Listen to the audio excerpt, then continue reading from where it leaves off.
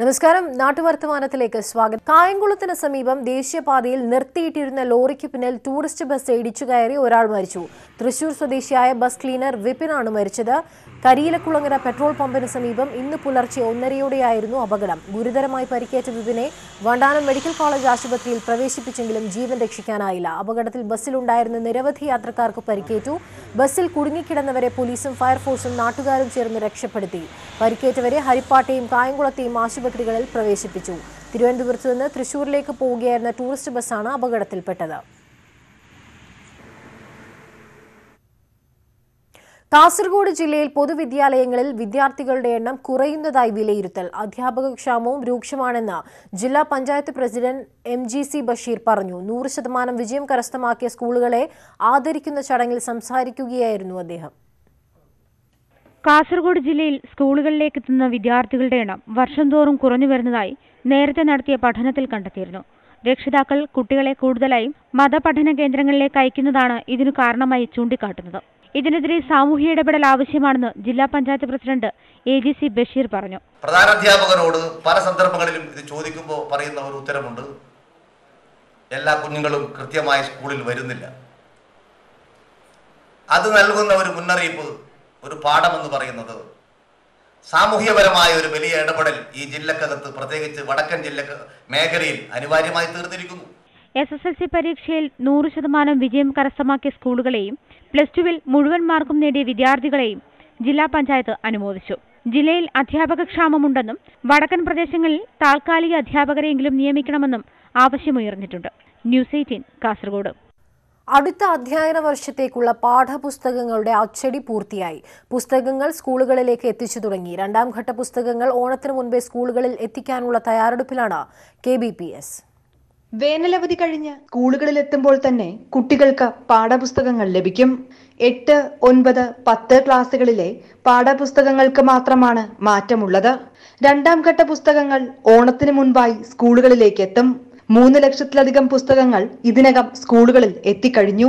മൂന്ന് കോടി ഇരുപത്തഞ്ച് ലക്ഷം ബുക്ക് പ്രിന്റിംഗ് കംപ്ലീറ്റ് ആയി അതിന്റെ വിതരണം തൊണ്ണൂറ്റഞ്ച് ശതമാനം പൂർത്തിയായി. ഈ ആഴ്ചനുള്ളിൽ അത് മിക്കവാറും നൂറ് ശതമാനം പൂർത്തീകരിക്കും. പുസ്തകങ്ങളിലെ ഓരോ പാഠങ്ങളിലും ക്യു ആർ എസ് കോഡും ചിത്രീകരിച്ചിട്ടുണ്ട്. പാഠഭാഗങ്ങളെക്കുറിച്ചുള്ള കൂടുതൽ അറിവിനായി വിദ്യാർത്ഥികൾക്ക് ഇത് പ്രയോജനപ്പെടുത്താം. News eighteen Kochi. ഒരു അതിജീവനത്തിന്റെ കഥയാണ് Karuvarakundu Punnakkad government L P സ്കൂളിന് പുതിയ കുട്ടികളോട് പറയാനുള്ളത്. കഴിഞ്ഞ വർഷം ഒലിപ്പുഴ രണ്ടു വട്ടം കരകവിഞ്ഞൊഴുകിയപ്പോൾ അതിന്റെ കൂടെ ഒലിച്ചുപോയത് ഈ സ്കൂളിലെ വിലപ്പെട്ട പലതുമായിരുന്നു. ഇക്കുറി മറ്റൊരു അധ്യയന വർഷം വിളിപ്പാടകലെ നിൽക്കുമ്പോൾ പുന്നക്കാട് സ്കൂൾ പോയ വർഷത്തേക്കാൾ അധികം കുട്ടികളെ വരവേൽക്കാൻ ഒരുങ്ങിക്കഴിഞ്ഞു. കഴിഞ്ഞ ജൂലൈ ആഗസ്റ്റ് മാസങ്ങളിൽ ഒലിപ്പുഴ കരകവിഞ്ഞപ്പോൾ പുന്നക്കാട് സ്കൂളും പരിസരവുമെല്ലാം ഇത്തരത്തിലായിരുന്നു. ഇന്ന് ഇങ്ങനെയും. Karuvarakundu Punnakkad government L P സ്കൂളിനെ പ്രളയത്തിന്റെ ഓർമ്മ ഇപ്പോൾ ചുമരിൽ അടയാളപ്പെടുത്തിയ ഈ വരയിൽ മാത്രം. ബാക്കിയെല്ലാം തിരികെ പിടിച്ചു. മൂന്ന് തവണ പ്രളയം ആക്രമിച്ചപ്പോഴും നമ്മുടെ നാട്ടുകാർ സന്നദ്ധ പ്രവർത്തകർ ക്ലബിന്റെ ആളുകൾ ഈ നാട്ടിലെ രക്ഷിതാക്കൾ എല്ലാവരും വളരെ ഉത്തരവാദിത്വപൂർണമായി ഏറ്റെടുക്കുകയും സ്കൂളിനെ പൂർവാധികം ഭംഗിയാക്കി കൊണ്ടുവരികയും ചെയ്തു. സ്മാർട്ട് ക്ലാസ് റൂമും ലൈബ്രറിയും കളിമുറ്റവും തുടങ്ങി ഒരു സ്വകാര്യ മാനേജ്മെന്റ് സ്കൂളിലുള്ള എല്ലാം ഇപ്പോൾ ഇവിടെയുണ്ട്. കുട്ടികളുടെ എണ്ണത്തിലും വർധനവുണ്ട്. പോയ വർഷം എഴുന്നൂറ്റി അറുപത്തിയൊന്ന് പേരായിരുന്നുവെങ്കിൽ ഇത്തവണ എണ്ണൂറ്റി മുപ്പത്തിനാലാണ് പുതിയ കുട്ടികൾ ഇപ്പോഴും വന്നുകൊണ്ടിരിക്കുന്നു. അതേ സ്ഥാനത്ത് നമ്മൾ ഒന്നാം ക്ലാസ്സിലേക്ക് മാത്രം ഇപ്പോൾ ഇന്നത്തെ അഡ്മിഷൻ അടക്കം നോക്കുമ്പോൾ നൂറ്റി നാൽപ്പത്തൊമ്പത് കുട്ടികൾ നമുക്ക് പുതുതായി വന്നു ചേർന്നിട്ടുണ്ട്. എൽ കെ ജി രണ്ട് മൂന്ന് നാല് ക്ലാസ്സുകളിലെ മൊത്തം എണ്ണം നോക്കുമ്പോൾ മുന്നൂറിലധികം കുട്ടികൾ ഇപ്പോൾ നമ്മുടെ നല്ല സ്കൂളിൽ പുതുതായി വന്ന് ചേർത്തിട്ടുണ്ട് മലപ്പുറം ജില്ലയുടെ മലയോര മേഖലയിലെ ഒരു ചെറു സ്കൂൾ നടത്തിയ ഈ അതിജീവനം ഒരു മാതൃകയാണ്. കേരളത്തിനൊന്നാകെ. കരുവാരകണ്ടു നിന്നും P V Vinod കുമാറിനൊപ്പം C V Anumod news eighteen. Malappuram Chelembra ഗ്രാമപഞ്ചായത്തിൽ ചെള്ളുപ്പനി മരണം റിപ്പോർട്ട് ചെയ്തതിനെ തുടർന്ന് ജനങ്ങൾ ആശങ്കയിൽ. ഇതേ തുടർന്ന് ആരോഗ്യവകുപ്പ് പ്രതിരോധ പ്രവർത്തനങ്ങൾ ഊർജിതമാക്കി. ആശങ്കപ്പെടാനില്ലെന്നും ആരോഗ്യവകുപ്പ് അറിയിച്ചു. വാർത്തയിലേക്ക് വരാം. ഇപ്പോൾ കോട്ടയത്ത് കൊല്ലപ്പെട്ട കെവിന്റെ അച്ഛൻ മാധ്യമങ്ങളെ കാണുകയാണ്. തത്സമയ സംരക്ഷണത്തിലേക്ക്. ആർക്കൊക്കെ പരാതി കൊടുക്കാനാണ് നമ്മൾ ഉദ്ദേശിക്കുന്നത്? മുഖ്യമന്ത്രിക്കും പ്രതിപക്ഷ നേതാവിനും മനുഷ്യാവകാശ കമ്മീഷനും കൊടുക്കും.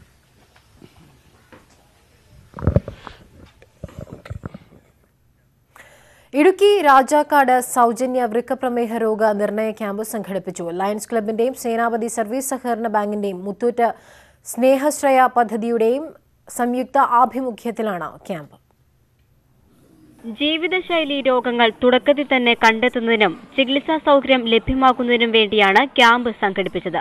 രാജാക്കാട് ലേൺസ് ക്ലബും സേനാപതി സർവീസ് സഹകരണ ബാങ്കും മുത്തൂറ്റ് സ്നേഹാശ്രയ പദ്ധതിയും ചേർന്നാണ് രോഗനിർണയ ക്യാമ്പ് സംഘടിപ്പിച്ചത്. മാങ്ങാത്തൊട്ടി ബാങ്ക് ഓഡിറ്റോറിയത്തിൽ നടന്ന പരിപാടി നെടുങ്കണ്ടം ബ്ലോക്ക് പഞ്ചായത്ത് പ്രസിഡന്റ് റെജി പനച്ചിക്കൽ ഉദ്ഘാടനം ചെയ്തു. പ്രമേഹ രോഗനിർണയ ക്യാമ്പ് വളരെ പ്രയോജനം ചെയ്യുന്നതാണ്. ഒരുപക്ഷെ നമുക്ക് എല്ലാവർക്കും ഓടിച്ചെന്ന് നമ്മുടെ വൃക്ക രോഗത്തെക്കുറിച്ച് പരിശോധിക്കാനൊന്നും പാവപ്പെട്ട ആളുകൾക്ക് കഴിയാറില്ല. അവരെ എല്ലാം സഹായിക്കുന്ന രീതിയിൽ നടത്തിയ ഈ സംരംഭം വളരെ നല്ലൊരു സംരംഭമായി കാണുന്നു. സേനാപതി സർവീസ് സഹകരണ bank president James Thengumkudiyil Lions Club president Shainu Sukesh secretary V S Pushpadan തുടങ്ങി നിരവധി പേർ പങ്കെടുത്തു. നിരവധി ആളുകളാണ് ക്യാമ്പിന്റെ സേവനം പ്രയോജനപ്പെടുത്തിയത്. ന്യൂസ് എയ്റ്റീൻ സേനാപതി. നേരത്തെ പൂർത്തിയാകാത്ത വാർത്തയിലേക്കാണ് ഇനി. മലപ്പുറം ചേലമ്പ്ര ഗ്രാമപഞ്ചായത്തിൽ ചെള്ളുപനി മരണം റിപ്പോർട്ട് ചെയ്തതിനെ തുടർന്ന് ജനങ്ങൾ ആശങ്കയിലാണ്. ഇതേ തുടർന്ന് ആരോഗ്യവകുപ്പ് പ്രതിരോധ പ്രവർത്തനങ്ങൾ ഊർജിതമാക്കി ആശങ്കപ്പെടാനില്ലെന്നും ആരോഗ്യവകുപ്പ് അറിയിച്ചു. ബയോളജിസ്റ്റ് ഇൻസെക്ട് കളക്ടർമാരും ഉൾപ്പെടെയുള്ള സംഘമാണ് പ്രദേശത്ത് ബോധവൽക്കരണം ഉൾപ്പെടെയുള്ള പ്രതിരോധ പ്രവർത്തനങ്ങൾക്കായി എത്തിയത്. മരണം നടന്ന വീട്ടിലും സമീപ പ്രദേശങ്ങളിലും മരുന്ന് തളിക്കുകയും പ്രദേശവാസികൾക്കായി ബോധവൽക്കരണ ക്ലാസ് നടത്തുകയും ചെയ്തു. എലി അണ്ണാൻ തുടങ്ങിയ ജീവികളുടെ ചെവികളിൽ നിന്നുണ്ടാകുന്ന ചെള്ളാണ് രോഗത്തിന് കാരണമായത്. കുടുംബശ്രീ പ്രവർത്തകയായ പനയപ്പുറത്തുപുറായി പി. ഉഷയാണ് കഴിഞ്ഞ പതിനേഴിന് ചെള്ളുപനി ബാധിച്ച് കോഴിക്കോട് മെഡിക്കൽ കോളേജിൽ മരിച്ചത്. എവിടെയെങ്കിലും പനി റിപ്പോർട്ട് ചെയ്യപ്പെട്ടാൽ കൃത്യമായി ഹെൽത്ത് ഡിപ്പാർട്ട്മെന്റ് അറിയിച്ചുകൊണ്ട് ആവശ്യമായുള്ള ചികിത്സ സ്വയം ചികിത്സയ്ക്ക് വിധേയമാകാതെ ഡിപ്പാർട്ട്മെന്റ് ആരോഗ്യവകുപ്പിനെ കേന്ദ്രീകരിച്ചുള്ള ചികിത്സയ്ക്ക് ആവശ്യമായുള്ള കാര്യങ്ങൾക്ക് നേതൃത്വം കൊടുക്കണമെന്ന് മുഴുവൻ കുടുംബങ്ങളിലേക്കും വിവരമറിയിക്കുകയുണ്ടായി. വീടുകൾ കയറി ഇറങ്ങിയ ആശാപ്രവർത്തകരും ആരോഗ്യ പ്രവർത്തകരും ഹെൽത്ത് ഡിപ്പാർട്ട്മെന്റ് ജീവനക്കാരും ജനപ്രതിനിധികളും ചേർന്ന് ഈ പ്രവർത്തനങ്ങൾക്ക് നേതൃത്വം കൊടുക്കുകയുണ്ടായി. രണ്ടു വർഷത്തിനിടെ ഡെങ്കിപ്പനി ബാധിച്ച് നിരവധി പേരാണ് ചേലേമ്പ്രയിൽ മരിച്ചത്. കഴിഞ്ഞ വർഷവും ഡെങ്കിപ്പനി ബാധയും മഞ്ഞപ്പിത്തവും ചേലേമ്പ്രയിൽ റിപ്പോർട്ട് ചെയ്യപ്പെട്ടിരുന്നു. രോഗങ്ങൾ കണ്ടെത്തിയ സ്ഥലങ്ങളിൽ ശക്തമായ പ്രതിരോധ പ്രവർത്തനങ്ങളാണ് പഞ്ചായത്തും ആരോഗ്യ വിഭാഗവും നടത്തിവരുന്നത്. വീടും പരിസരവും വൃത്തിയാക്കുക എലിനശീകരണ പ്രവർത്തനം ഊർജിതപ്പെടുത്തുക പനിയുള്ളവർ വൈദ്യസഹായം തേടുക പ്രതിരോധ മരുന്നായ ഡോക്സിസൈക്ലിൻ കഴിക്കുക എന്നീ നടപടികൾ സ്വീകരിക്കാൻ ആരോഗ്യവകുപ്പ് നിർദ്ദേശിച്ചിട്ടുണ്ട്. News eighteen Chelembra. Malappuram Orungatteri പഞ്ചായത്തിലെ ജലനിധിയുടെ ബൃഹത് കുടിവെള്ള പദ്ധതി ഈ വേനലിലും വെള്ളം നൽകാനാകുന്നില്ല. പഞ്ചായത്തിലെ പതിനെട്ട് വാർഡുകൾ ലക്ഷ്യമിട്ട പദ്ധതിയുടെ പണികൾ ഏകദേശം പൂർത്തിയായെങ്കിലും വെള്ളം വിതരണത്തിനായില്ല. പമ്പിംഗ് ആരംഭിച്ചതോടെ എല്ലായിടത്തും പൈപ്പ് പൊട്ടൽ പതിവായെന്നും പരാതിയുണ്ട്. ഇരുപത്തിയൊന്ന് കോടി രൂപ ചെലവിലാണ് ഊർങ്ങാട്ടിരി പഞ്ചായത്തിലെ ജലനിധി ബൃഹത് കുടിവെള്ള പദ്ധതിയുടെ നിർമ്മാണം തുടങ്ങിയത്. രണ്ടായിരത്തി പതിനഞ്ചിൽ നിർമ്മാണം തുടങ്ങിയെങ്കിലും ഇതേവരെ പണി പൂർത്തിയാക്കി ജലവിതരണം നടത്താറായിട്ടില്ല. കടുത്ത ജലക്ഷാമം നേരിടുന്ന പതിനെട്ട് വാർഡുകളിലേക്ക് വെള്ളം എത്തിക്കാനാണ് പദ്ധതി. തെഞ്ചേരി വലയിലെ പ്ലാന്റും ചാലിയാറിന് സമീപത്തായി പമ്പ് ഹൗസും ശുദ്ധീകരണ സംവിധാനങ്ങളും ഒരുക്കിയെങ്കിലും ഇതുവരെ കുടിവെള്ള വിതരണം ആരംഭിച്ചില്ല. എന്നാൽ പമ്പിംഗ് പരിശോധന നടത്തിയതോടെ റോഡിനടിയിലെ പൈപ്പുകളെല്ലാം പൊട്ടിത്തുടങ്ങി. ഇവിടെ ഉപയോഗിച്ച പൈപ്പുകളുടെ ലോ ക്വാളിറ്റി പൈപ്പുകൾ ഉപയോഗിച്ച് അധികൃതരും കോൺട്രാക്ടറും തമ്മിൽ വ്യക്തമായ ഒത്താശ നടന്നിരിക്കുന്നു എന്നുള്ളതാണ്. പി വി സി പൈപ്പുകൾ ഇങ്ങനെ പൊട്ടുന്നതിന്റെ സാഹചര്യവും അതുതന്നെയാണ് ഭൂമിക്കടിയിലൂടെയുള്ള പൈപ്പുകളായതുകൊണ്ട് ഇതിനെ പിന്നീട് ആരും കാണില്ല എന്നുള്ളത് കൊണ്ട് തന്നെ ഇതിൽ വ്യക്തമായ അഴിമതി നടന്നിട്ടുണ്ട്. കടുത്ത കുടിവെള്ളക്ഷാമം നേരിടുന്ന പഞ്ചായത്തിലെ മൂവായിരത്തി അഞ്ഞൂറ് കുടുംബങ്ങൾ വർഷങ്ങളായി വിഹിതമടച്ച് കാത്തു നിൽക്കുമ്പോഴും ഉദ്യോഗസ്ഥരും പഞ്ചായത്തും നിഷ്ക്രിയമാണെന്നാണ് ആരോപണം. രണ്ടായിരം ഉറുപ്പ്യ ഞങ്ങൾ കൊടുത്തിട്ട് ഇതുവരെ ഞങ്ങൾക്ക് ഈ വെള്ളം കിട്ടിയിട്ടില്ല. അത്രയും കാലമായില്ലേ? നാല് വർഷമായി അപ്പം വെള്ളം കിട്ടിയിട്ടില്ല അതുകൊണ്ട് ഞങ്ങൾക്ക് ഭയങ്കര ബുദ്ധിമുട്ടാണ്. കിണർ മുറ്റത്തുണ്ട് കിണറ്റിലൊന്നും വെള്ളമില്ല. ലോകബാങ്ക് ധനസഹായത്തിനു പുറമെ പഞ്ചായത്ത് വിഹിതവും ഗുണഭോക്തൃ വിഹിതവും ഉൾപ്പെടുത്തിയ പദ്ധതിയാണിത്. റോഡിനടിയിലെ പൈപ്പ് സ്ഥാപിച്ചെടുത്ത് ആവശ്യത്തിന് എയർവാൽ വിടാത്തതാണ് പൈപ്പുകൾ പൊട്ടാൻ കാരണമായത്. റോഡ് പൊളിച്ച് വാൽ വിടുന്നതിന് നാട്ടുകാരിൽ ചിലർക്ക് എതിർപ്പുമുണ്ട്. എന്നാൽ പണികൾ തൊണ്ണൂറ്റിയൊൻപത് ശതമാനവും പൂർത്തിയായെന്നും അടുത്തുതന്നെ ജലവിതരണം ആരംഭിക്കുമെന്നുമാണ് അധികൃതർ അറിയിക്കുന്നത്. ന്യൂസ് എയ്റ്റീൻ ഓർങ്ങാട്ടിരി ലോകബാങ്ക് സഹായത്തോടെ നിർമ്മിച്ച ജലനിധി പദ്ധതിക്ക് പ്രദേശവാസികളുടെ എതിർപ്പ് തടസ്സമാകുന്നു. ട്രയൽ പമ്പിംഗ് നടത്തിയപ്പോൾ തന്നെ കിണർ വറ്റിയതാണ് നാട്ടുകാരുടെ എതിർപ്പിന് കാരണമായത്. വടകര കൂടോത്തുകാവിൽ റോഡിലെ അൻപതോളം കുടുംബങ്ങൾക്ക് പ്രയോജനപ്പെടുന്ന തരത്തിലാണ് മത്തത്ത് ഭാഗം ജലനിധി പദ്ധതി ആരംഭിക്കുന്നത്. തുടക്കത്തിൽ തന്നെ പദ്ധതിക്കെതിരെ നാട്ടുകാർ രംഗത്തെത്തി. തുടർന്ന് ഹൈക്കോടതി പദ്ധതി സ്റ്റേ ചെയ്തു. ഒന്നര വർഷത്തിനു ശേഷമാണ് നിയമക്കുരുക്ക് നീങ്ങുന്നത്. തുടർന്നാണ് നാൽപ്പത്തിയൊന്ന് ലക്ഷം രൂപ ചെലവഴിച്ച് പദ്ധതി പൂർത്തിയാക്കുന്നത്. ജലനിധി കിണറ്റിൽ നിന്ന് വെള്ളമെടുത്തു തുടങ്ങിയപ്പോൾ സമീപത്തെ കിണറുകൾ വറ്റിയെന്നാണ് ആക്ഷേപം. ഇതേ തുടർന്ന് ലോകബാങ്ക് സഹായത്തോടെ നിർമ്മിച്ച പദ്ധതിക്കെതിരെ നാട്ടുകാരുടെ നേതൃത്വത്തിൽ ലോകബാങ്കിൽ പരാതി നൽകി. ഒരു സ്ഥലത്തെ കുടിവെള്ള പ്രശ്നത്തിന് പരിഹാരം തേടുമ്പോൾ മറ്റൊരിടത്ത് കിണറുകൾ വറ്റുന്നുവെന്ന പരാതി ലോകബാങ്ക് ഗൗരവത്തോടെ എടുത്തു. ഇതോടെ ജലനിധി പ്രവർത്തനം നിർത്തിവെച്ചു. കുടിവെള്ള പ്രശ്നം രൂക്ഷമായതോടെയാണ് പ്രദേശവാസികൾ സമരത്തിനിറങ്ങിയത്. ഈ പദ്ധതി തന്നെ ഇവിടെ നടത്താൻ വേണ്ടി സമ്മതിക്കില്ല എന്നുള്ള രീതിയിലാണ് ഇതിനെതിരായിട്ട് പറഞ്ഞത് ഇപ്പോൾ ഇതിൽ നാൽപ്പത്തി അഞ്ച് ഗുണഭോക്താക്കളാണുള്ളത്. ഈ നാൽപ്പത്തി അഞ്ച് ഗുണഭോക്താക്കളിൽ അതിൽ മുപ്പത്തി നാല് പേർക്കും സ്വന്തമായിട്ട് ഒരു ജലസ്രോതസ്സുമില്ല. അതിൽ പിന്നെ പതിനൊന്ന് പേർക്കാണ് കിണറുള്ളത്. ആ പതിനൊന്ന് പേർക്ക് കിണർ അവർക്ക് എല്ലാ കൊല്ലവും വേനൽക്കാലത്ത് വറ്റുന്ന കിണറുകളാണ്. അപ്പോൾ ജലനിധി പദ്ധതിയിൽ കിണറുള്ള ആൾക്കാർക്കും വെള്ളം പറ്റുന്ന ആൾക്കാർക്കും പദ്ധതിയിൽ ഗുണഭോക്താക്കളായിട്ട് തിരഞ്ഞെടുക്കുക എന്നുള്ളതാണ്. ജലനിധി കിണർ സ്ഥിതി ചെയ്യുന്ന ചോയോത്ത് നടേമൽ പ്രദേശവാസികൾ ഒന്നടങ്കം പദ്ധതിക്കെതിരാണ്. വേണ്ടത്ര പഠനം നടത്താതെയാണ് പദ്ധതി തുടങ്ങിയതെന്നാണ് ആരോപണം. ഇവിടെ ഏതാനും കിണറുകൾ വറ്റിയിട്ടുമുണ്ട്. വൻതോതിൽ ജലമെടുക്കുമ്പോൾ കൂടുതൽ കിണറുകൾ വറ്റുമെന്ന ആശങ്കയിലാണിവർ. വെള്ളം കൊടുക്കുന്നതിൽ ഞങ്ങൾക്കൊരു പരാതിയില്ല പക്ഷെ നമ്മളെ വെള്ളം വരിച്ചിട്ട് മറ്റുള്ളവർക്ക് കൊടുക്കുക എന്നുള്ളതാണ് ഞാൻ പറയുന്നത് ഇവിടുന്ന്. ഇതിവിടെ ഞാൻ വന്നിട്ട് പതിനഞ്ച് കൊല്ലം. ഇത്ര ഇതുവരെ അപ്പുറത്തെ വീടുകളിൽ പോയിട്ടൊന്നും വെള്ളം എടുത്ത ഇതില്ല. ഇപ്പോൾ ഈ ലോറിയിൽ ഈ പള്ളീന്റെ വില പള്ളീന്റെ വെള്ളം വരുന്നതുകൊണ്ട് ആ വെള്ളം ഈ നിറച്ച് നിങ്ങൾ കൊനാലെല്ലാം നോക്കി ഞങ്ങൾക്ക് കാണാം. ആ വെള്ളം കൊണ്ടാണ് കഴിയുന്നത് രണ്ട് മൂന്ന് ദിവസം കഴിയുമ്പോൾ മക്കളെല്ലാം വീട്ടിൽ കൊണ്ടാക്കിയിട്ടുള്ള വെള്ളം ഇല്ലാത്തതുകൊണ്ട് ഇപ്പം ഞങ്ങൾ വെള്ളമില്ലാണ്ട് ഞാൻ എടിയാ പോണ്ടേ? പദ്ധതി നിർത്തി പകരം പുതിയ സ്ഥലത്ത് കിണർ കുഴിക്കണമെന്നാണ് ഈ പ്രദേശത്തുകാരുടെ ആവശ്യം. ഇവരുടെ ആവശ്യപ്രകാരം ഭൂഗർഭജല വകുപ്പ് അധികൃതർ പരിശോധനകൾ നടത്തും. ഇതിനുശേഷമാകും നിർമ്മാണം പൂർത്തിയായി പദ്ധതി തുടരണോ വേണ്ടയോ എന്ന് തീരുമാനിക്കുക. News eighteen Vadakara. കിട്ടാതെ ചെറുവത്തൂർ റെയിൽവേ സ്റ്റേഷൻ പ്ലാറ്റ്ഫോം നിർമ്മാണം വടിമുട്ടി. നിർമ്മാണത്തിനായി എം പി ഫണ്ടിൽ നിന്ന് പണം അനുവദിച്ചിട്ടും നിർമ്മാണം തടസ്സപ്പെട്ടു. ചെറുവത്തൂർ റെയിൽവേ സ്റ്റേഷനിലെ മൂന്നാം പ്ലാറ്റ്ഫോമിലേക്കുള്ള നടപ്പാത നീട്ടിപ്പണിയാനാണ് നിശ്ചയിച്ചിരിക്കുന്നത്. എം പി ഫണ്ടിൽ നിന്നും ഇരുപത് ലക്ഷവും എം എൽ എ ഫണ്ടിൽ നിന്നും ഇരുപത്തിയഞ്ച് ലക്ഷവും പഞ്ചായത്ത് ഒന്നര ലക്ഷം രൂപയും റെയിൽവേക്ക് കൈമാറി. രണ്ടു വർഷം മുൻപ് നിർമ്മാണവും ആരംഭിച്ചിരുന്നു. പ്രവൃത്തിയുടെ ആദ്യഘട്ടത്തിൽ സ്വകാര്യ വ്യക്തികൾ തങ്ങളുടെ സ്ഥലം വിട്ടുകൊടുക്കാത്തത് കീറാമുട്ടിയായി മാറി. കാലപ്പഴക്കം ചെന്ന കെട്ടിടങ്ങളാണ് ഈ ഭാഗത്തുള്ളത്. കെട്ടിട ഉടമകളുമായി എം പിയും ഉദ്യോഗസ്ഥരും മറ്റു ജനപ്രതിനിധികളും ചർച്ച നടത്തുകയും ന്യായമായ നഷ്ടപരിഹാരം നൽകി സ്ഥലം ഏറ്റെടുക്കാൻ തീരുമാനിക്കുകയും ചെയ്തിരുന്നു. എന്നാൽ കെട്ടിട ഉടമകൾ തയ്യാറാകാത്തതാണ് നിലവിലെ പ്രതിസന്ധിക്ക് കാരണം. പല പ്രാവശ്യമായിട്ട് ജനങ്ങൾ ഇറങ്ങുമ്പോൾ ഒരുപാട് ആൾക്കാരെ വീണ് കൈയും കാലും പൊളിഞ്ഞിട്ടുണ്ട്. നമുക്കാണ് ബുദ്ധിമുട്ട്. എല്ലാവരും എടുത്തുകൊണ്ടുണ്ട് നമ്മളെ കടമയാണല്ലോ. ബിൽഡിങ്ങിന് അതിന് പൈസ കൊടുക്കാൻ ബാക്കി കൊടുക്കണത്രേ. കൊടുത്താൽ മാത്രമേ പണി നടക്കുള്ളൂ. രോഗികളും പ്രായമായവരും ഉൾപ്പെടെയുള്ള യാത്രക്കാർ മൂന്നാം നമ്പർ പ്ലാറ്റ്ഫോമിലേക്ക് ബുദ്ധിമുട്ടിയാണ് കയറുന്നത്.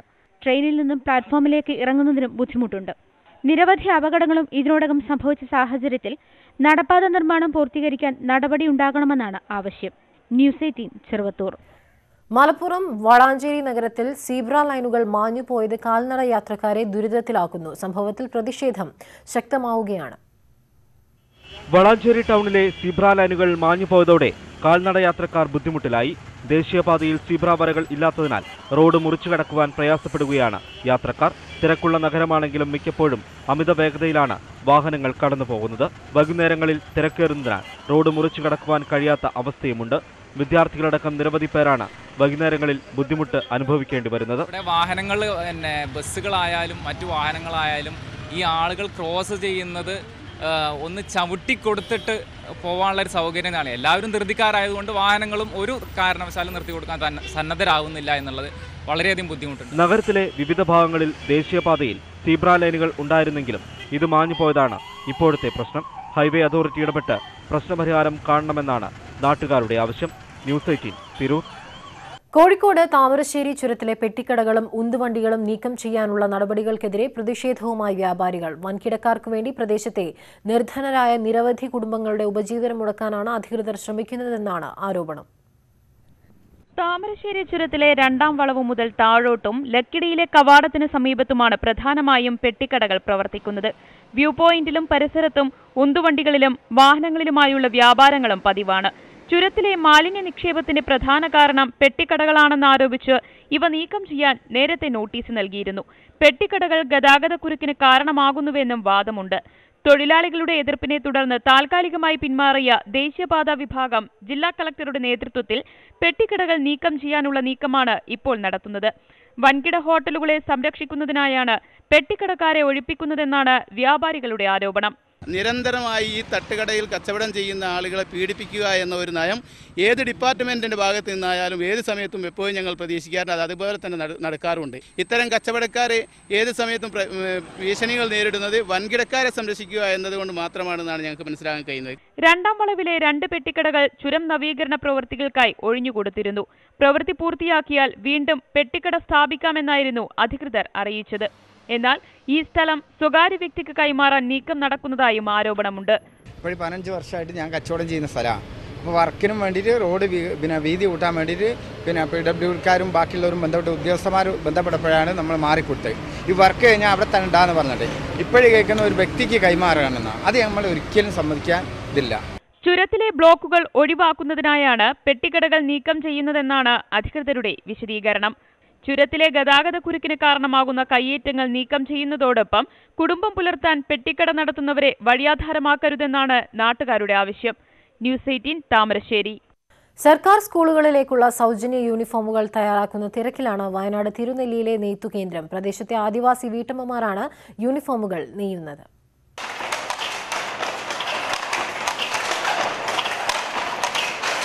സർക്കാർ സ്കൂളുകളിൽ വിതരണം ചെയ്യുന്ന സൗജന്യ യൂണിഫോമിന്റെ തുണി തയ്യാറാക്കുന്നതിൽ വയനാട് കാളന്തിപ്പുഴയുടെ തീരത്തുള്ള ഈ ഗോത്ര വനിതകളുടെ പ്രയത്നവുമുണ്ട്. പതിനഞ്ച് വനിതകളാണ് രണ്ടായിരത്തി പതിനേഴ് മുതൽ തിരുനെല്ലിയിലെ ഈ നെയ്ത്ത് കേന്ദ്രത്തിൽ ജോലി ചെയ്യുന്നത്. രാവിലെ പത്ത് മുതൽ നാല് വരെയാണ് ജോലി സമയം. പിന്നാക്ക ആദിവാസി വിഭാഗങ്ങൾ ഏറെയുള്ള തിരുനെല്ലി ഗ്രാമപഞ്ചായത്തിലെ ആദിവാസി സ്ത്രീകൾക്ക് ദൈനംദിന വരുമാനം കണ്ടെത്താൻ സഹായിക്കുകയാണ് ഈ സംരംഭം. എന്റെ പദ്ധതി വന്നപ്പോൾ നല്ലൊരു ആശ്വാസമാണ്. കാരണം നമുക്കൊരു വർഷത്തേക്കുള്ള റോ മെറ്റീരിയൽ അതായത് നൂലും കാര്യങ്ങളൊക്കെ ആയിട്ട് സർക്കാർ തന്നെ തരുന്നു പിന്നെ അവർക്കുള്ള ശമ്പളവും കാര്യങ്ങളും കൂലിയാണെങ്കിൽ സർക്കാർ തന്നെയാണ് കൊടുക്കുന്നത്. പിന്നെ അവർക്ക് ഇപ്പം എന്താ വെച്ചിട്ടുണ്ടെങ്കിൽ ഇപ്പോൾ ഒരു മീറ്ററിന് ഒരു ഒരു മീഡിയം ഒരു ലെവലിലൊരു കൂലി കിട്ടുന്നുണ്ട്. തൃശ്ശിലേരി നെയ്ത്ത് സഹകരണ സംഘത്തിന്റെ നേതൃത്വത്തിൽ നാൽപ്പത്തിയഞ്ച് ദിവസം നീണ്ടു നിൽക്കുന്ന പരിശീലനവും ഇവർക്ക് നൽകിയിട്ടുണ്ട്. ഖാദി നൂൽ നിർമ്മാണ യൂണിറ്റ് പ്രവർത്തിച്ചിരുന്ന കെട്ടിടത്തിലാണ് ഇപ്പോൾ നെയ്ത്ത് കേന്ദ്രം പ്രവർത്തിക്കുന്നത്. News eighteen Wayanad. Idukki Rajakkad S M S S M കോളേജിലെ പാലിയേറ്റീവ് കെയർ യൂണിറ്റിന്റെ നേതൃത്വത്തിൽ രോഗബാധിത കുടുംബത്തിന് കുടിവെള്ളം എത്തിച്ചു. വിദ്യാർത്ഥികളുടെ നേതൃത്വത്തിൽ നടത്തിവരുന്ന സാന്ത്വന പരിചരണ പരിപാടിയുടെ ഭാഗമായിട്ടാണ് ദുരിതമനുഭവിക്കുന്ന കുടുംബത്തിന് സഹായം എത്തിച്ചു നൽകിയത്. രോഗബാധിതരായ സേനാപതി അഞ്ചുമുക്കിൽ ജോയി ലിസി ദമ്പതികളുടെ വീടിന് ഇരുന്നൂറ് മീറ്റർ അകലെയാണ് കുടിവെള്ളം എത്തുന്നത്. ഇത് വീട്ടിലേക്ക് ചുമന്നെത്തിക്കാനാകാതെ ദുരിതത്തിലായിരുന്നു ഇവർ. ഇക്കാര്യം ശ്രദ്ധയിൽപ്പെട്ട എസ് എസ് എം കോളേജിലെ പാലിയേറ്റീവ് കെയർ യൂണിറ്റിലെ വിദ്യാർത്ഥികളാണ് കുടിവെള്ളം എത്തിച്ചത്. വാട്ടർ ടാങ്ക് സ്ഥാപിച്ച് സമീപത്തെ കുടിവെള്ള പദ്ധതി നിന്നും വെള്ളം എത്തിച്ചു നൽകി. ഇതിനുള്ള പണം സമാഹരിച്ചതും കുട്ടികൾ തന്നെ. ഏകദേശം നാല് വർഷത്തോളമായി എസ് എസ് എം കോളേജിൽ പാലിയേറ്റീവ് യൂണിറ്റ് പ്രവർത്തിക്കുന്നു. അനുബന്ധമായിട്ട് ബന്ധപ്പെട്ട് ഒരുപാട് നല്ല കാര്യങ്ങൾ പാലിയേറ്റീവ് നമ്മുടെ സേനാവതി ഗ്രാമപഞ്ചായത്തിന് വേണ്ടി ചെയ്തു കൊടുക്കുന്നത്. അതിന് ഏറ്റവും കൂടുതൽ സപ്പോർട്ടായിട്ട് നിൽക്കുന്നത് മാങ്ങത്തൊട്ട് പി എച്ച് സി ആണ്. പി എച്ച് സി തന്നെയാണെങ്കിലും മിനി ചേച്ചി അവിടുത്തെ പാലിയേറ്റീവ് നേഴ്സാണ് ഏറ്റവും കൂടുതൽ സപ്പോർട്ടായിട്ടുള്ള കാര്യങ്ങളെല്ലാം നമ്മൾ അറിയിക്കുന്നത്. അങ്ങനെയാണ് നമ്മുടെ കോളേജിൽ നിന്ന് കുഞ്ഞുങ്ങൾ ഹോം കെയറിന് പോകുന്നതിൽ ഒരു ദിവസമാണ് ഈ ഒരു വീട്ടിൽ വരികയും ജോയിച്ചന്റെ വീട്ടിൽ വരികയും ഇവിടെ കുടിവെള്ളത്തിന് ഇങ്ങനെ ഒരു പ്രശ്നമുണ്ട് നമ്മൾ അറിയുകയും ചെയ്തു അപ്പോൾ എന്നെയും എന്റെ സഹ അർജി സാറിനെ വിവരം അറിയിക്കും ഞങ്ങൾ ഇവിടെ ഒരു ദിവസം ഇവിടെ വന്നു. കാര്യങ്ങൾ അറിഞ്ഞു പോകുക എന്തെങ്കിലും സഹായം ചെയ്യാമെന്ന് പറയുകയായിരുന്നു. സേനാപതി ഗ്രാമപഞ്ചായത്തും ആരോഗ്യ വകുപ്പും നടത്തിവരുന്ന സ്വാന്തന പരിചരണ പരിപാടിയിൽ രണ്ടായിരത്തി പതിനാറ് മുതലാണ് വിദ്യാർത്ഥികളും പങ്കാളികളാകുന്നത്. കുട്ടികളിൽ സഹജീവികളോടുള്ള സ്നേഹവും സഹവർത്തിത്വവും വളർത്തിയെടുക്കാൻ ഇതിലൂടെ കഴിഞ്ഞിട്ടുണ്ടെന്ന് കോളേജ് അധികൃതർ അഭിപ്രായപ്പെട്ടു. അനവധി രോഗികൾക്കും കുടുംബങ്ങൾക്കും സഹായങ്ങൾ എത്തിക്കാനുമായി കഴിഞ്ഞ വർഷം മികച്ച പാലിയേറ്റീവ് പ്രവർത്തനങ്ങൾക്കുള്ള അവാർഡും കോളേജിലെ യൂണിറ്റിന് ലഭിച്ചിരുന്നു. P H C junior health inspector Akhil George palliative nurse Mini Achankunju അധ്യാപകരായ Arjun V Ajayan Mohan K V തുടങ്ങിയവരോടൊപ്പം നിരവധി വിദ്യാർത്ഥികളാണ് പങ്കെടുത്തത്. News eighteen Rajakkad Thiruvananthapuram university കോളേജിൽ ആത്മഹത്യാ ശ്രമം നടത്തിയ വിദ്യാർത്ഥിനിക്ക് കോളേജ് മാറ്റത്തിന് അനുമതി. വർക്കല എസ് എൻ കോളേജിൽ വിദ്യാർത്ഥിനി പഠനം തുടരും. വിവരങ്ങളുമായി വി ആർ കാർത്തിക് ചേരുകയാണ്. കാർത്തിക് ഈ കോളേജ് മാറ്റം ആവശ്യപ്പെട്ട് യൂണിവേഴ്സിറ്റി അധികൃതർക്കും കോളേജ് അധികൃതർക്കും ഈ പെൺകുട്ടി കത്ത് നൽകിയ ഒരു സാഹചര്യം ഉണ്ടായല്ലോ. അതിനെ തുടർന്നാണോ ഇപ്പോൾ ഇത്തരത്തിലൊരു നടപടി. തിരുവനന്തപുരം യൂണിവേഴ്സിറ്റി കോളേജിൽ ഒരു മാസം മുൻപ് ആത്മഹത്യക്ക് ശ്രമിച്ച പെൺകുട്ടിക്ക് തുടർ പഠനത്തിന് അവസരം ഒരുങ്ങിയിരിക്കുന്നു. അഹ് രണ്ട് ാണ് തുടർ പഠനത്തിന് അവസരം കിട്ടണമെന്ന് ആവശ്യപ്പെട്ട് കത്ത് സിൻഡിക്കേറ്റ് പരിഗണിക്കുകയും തുടർന്ന് പെൺകുട്ടി വർക്കല എസ് എൻ കോളേജിലേക്ക് മാറ്റത്തിന് അനുമതി നൽകുകയുമായിരുന്നു. ഇരുപത്തി അഞ്ചിന് ചേർന്ന സിൻഡിക്കേറ്റ് യോഗമാണ് ഈ തീരുമാനമെടുത്തത്. തുടർന്ന് തീരുമാനത്തിന്റെ അടിസ്ഥാനത്തിൽ രജിസ്റ്റർ ഉത്തരവ് ഇറക്കുകയും ചെയ്തു. ഒക്കെ തിരുവനന്തപുരം യൂണിവേഴ്സിറ്റി കോളേജിൽ ആത്മഹത്യാ ശ്രമം നടത്തിയ വിദ്യാർത്ഥിനിക്ക് കോളേജ് മാറ്റത്തിന് അനുമതി. കാർത്തിക്കാണ് വിവരങ്ങൾ നൽകിയത്. കാക്കിക്കുള്ളിലെ ആത്മസംഘർഷം അരങ്ങിലെത്തിക്കുകയാണ് കാസർഗോഡ് സ്വദേശി കെ പി ജയമോഹൻ. ഏകാംഗ നാടകത്തിലൂടെയാണ് ഈ കലാകാരൻ പോലീസുകാരുടെ പച്ചയായ ജീവിതം തുറന്നുകാട്ടുന്നത്. എനിക്ക് മനസ്സിലാവുന്നില്ല. നിങ്ങൾക്ക് എന്താ ഞങ്ങൾ മനസ്സിലാവാത്തത്? ഞങ്ങളോട് മാത്രം എന്താ ഇങ്ങനെ?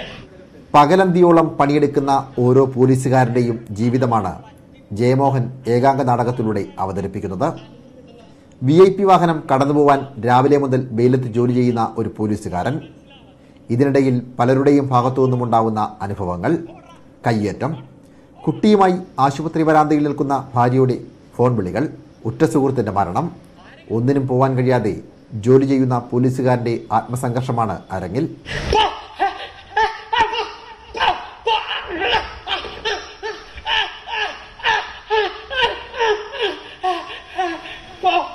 തൊണ്ടി മുതലും ദൃക്സാക്ഷിയും എന്ന ചിത്രത്തിൽ സംവിധാന സഹായിയായിരുന്നു ജയമോഹൻ. അതാണ് പോലീസുകാരുടെ ജീവിതത്തെ അടുത്തറിയാൻ സഹായിച്ചത്. തൊണ്ട് മുതലും ദൃസാക്ഷി എന്ന് പറഞ്ഞ സിനിമയിൽ കുറച്ച് വർക്ക് ചെയ്യാൻ പറ്റിയിട്ടുണ്ട്. ആ അതിൽ വർക്ക് ചെയ്യുന്ന സമയത്ത് കൂടുതൽ പോലീസുകാരായിരുന്നു ഉണ്ടായിരുന്നു അപ്പോൾ ഈ പോലീസുകാർ അവരെ കുറേ തമാശകളും അവരെ കുറേ കാര്യങ്ങളും അപ്പോഴാണ് നമുക്ക് പുറത്തുനിന്ന് ആക്ച്വലി ഇവരൊരു ഫീലിംഗ് മനസ്സിലാകുന്നത്. നമ്മൾ കാണുന്നതല്ല പോലീസ് എന്നുള്ളൊരു സാധനം. കോഴിക്കോട് ടൗൺ ഹാളിൽ പോലീസുകാരുടെ യാത്രയപ്പ് സമ്മേളനത്തോടനുബന്ധിച്ചാണ് നാടകം അവതരിപ്പിച്ചത് ഇന്റലിജന്റ് കറേജിയസ് എഫിഷ്യന്റ് ജനമാണ് പോലീസ്. ക്യാമറമാൻ ബിപിൻ മുരളിക്കൊപ്പം സനോജ് സുരേന്ദ്രൻ ന്യൂസ് എയ്റ്റീൻ കോഴിക്കോട്. കായംകുളം നഗരത്തിൽ പൊതു ശൗചാലയമില്ലാത്തത് ജനങ്ങളെ വലയ്ക്കുന്നു. നഗരത്തിലെത്തുന്നവരും യാത്രക്കാർക്കും പ്രാഥമിക കൃത്യങ്ങൾക്കുള്ള സംവിധാനം ഒരുക്കുന്നതിൽ നഗരസഭ പരാജയപ്പെട്ടെന്ന ആരോപണം ശക്തമാണ്. നഗരസഭ പത്ത് ലക്ഷം രൂപ മുടക്കി നിർമ്മിച്ച ശൗചാലയമാണിത്. പാർക്ക് ജംഗ്ഷന് സമീപമാണ് ഇത് നിർമ്മിച്ചിരിക്കുന്നത്. എന്നാൽ മാസങ്ങൾ പിന്നിട്ടിട്ടും ഇതിന്റെ പ്രയോജനം നാട്ടുകാർക്ക് ലഭ്യമാക്കിയിട്ടില്ല. നഗരത്തിലെത്തുന്നവർക്ക് പ്രാഥമിക ആവശ്യം നിറവേറ്റാനുള്ള സൗകര്യമില്ലാതിരിക്കുമ്പോഴാണ് നഗരസഭയുടെ അനാസ്ഥ മൂലം വെറുതെ ഒരു കെട്ടിടം മാത്രമായി ഇതങ്ങനെ കിടക്കുന്നത്. വെള്ളം ലഭിക്കാനുള്ള സംവിധാനം ഏർപ്പെടുത്താത്തതാണ് ശൗചാലയം തുറന്നുകൊടുക്കാനാകാത്തതിന്റെ കാരണമായി വ്യക്തമാക്കുന്നത്. ഏതായാലും ശൗചാലയം തുറന്നുകൊടുക്കണമെന്നാവശ്യപ്പെട്ട് നഗരത്തിലെത്തുന്നവരുടെ സൗകര്യം പരിഗണിച്ച് മുൻപ് രണ്ട് ടോയ്ലറ്റുകൾ സ്ഥാപിച്ചിരുന്നു. അവയും ഇപ്പോൾ പ്രവർത്തനരഹിതമാണ്. പാർക്ക് ജംഗ്ഷന് സമീപത്തെ പേട്ട മൈതാനത്തിനടുത്തുള്ള ശൗചാലയം ഉടൻ തുറന്നുകൊടുക്കണമെന്നാവശ്യപ്പെട്ട് ബി ജെ പി സമരരംഗത്തെത്തിയിട്ടുണ്ട്. പാർക്ക് ജംഗ്ഷന് സമീപം നിർമ്മിച്ച ശൗചാലയം പൂർത്തിയായിട്ട് ഒരു വർഷം കഴിഞ്ഞിട്ടും കേവലം ഒരു വാട്ടർ കണക്ഷൻ ലഭിച്ചില്ല അതിനുള്ള സംവിധാനം ഏർപ്പെടുത്ത ഇല്ല എന്നുള്ള കാരണം പറഞ്ഞുകൊണ്ട് ഒരു വർഷമായി അത് തുറന്നു കൊടുക്കാത്ത ഒരു സാഹചര്യത്തിലാണ് ഇത്തരം ജനങ്ങളുടെ അടിസ്ഥാന വിഷ വിഷയങ്ങൾ പ്രശ്നങ്ങൾ പരിഹരിക്കാൻ നഗരസഭ കാണിക്കുന്ന വിമുഖത അവസാനിപ്പിക്കണമെന്നാവശ്യപ്പെട്ട് ബി ജെ പി ശക്തമായ സമരം നഗരസഭക്കുള്ളിലും നഗരത്തിലും നടക്കാൻ വേണ്ടിയിട്ട് തീരുമാനിച്ചിരിക്കുകയാണ്. കഴിഞ്ഞ ദിവസം ബി ജെ പി പ്രവർത്തകർ ഇവിടെ റീത്ത് വെച്ച് പ്രതിഷേധിച്ചിരുന്നു. ശൗചാലയം എത്രയും പെട്ടെന്ന് തുറന്നു കൊടുക്കുന്നതിനുള്ള നടപടിയുണ്ടാകണമെന്നാണ് നാട്ടുകാരുടെ ആവശ്യം. News eighteen Kayamkulam. നാട്ടുവർത്തമാനം പൂർണമാവുകയാണ്. ഇടവേളയ്ക്ക് ശേഷം ഒൻപത് മണി ഒറ്റനോട്ടത്തിൽ രഞ്ജിനി ചേരും. നമസ്കാരം.